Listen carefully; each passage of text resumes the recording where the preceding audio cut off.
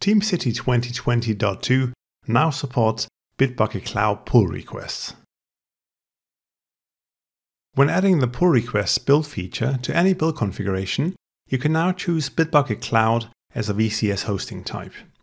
And you can also decide if you want to run a build for every incoming pull request or for a pull request targeting a specific branch or even multiple branches. Let's save that and create a new pull request in Bitbucket Cloud's web UI. For that, add a new file,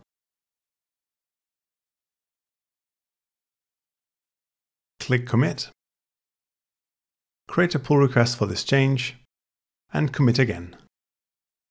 Then go back to TeamCity, to the project overview page, and TeamCity picks up the pull request and runs a build for that branch.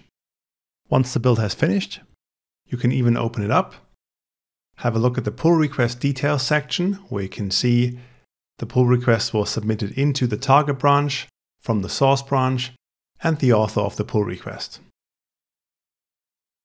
In the Bitbucket Cloud UI, if you have the commit status publisher configured in TeamCity and refresh the page, you'll even find the build status update right on the Bitbucket page. And when you click it, you will be redirected back to that specific build in your TeamCity server. And that is TeamCity 2020.2's Bitbucket Cloud pull request support. Enjoy!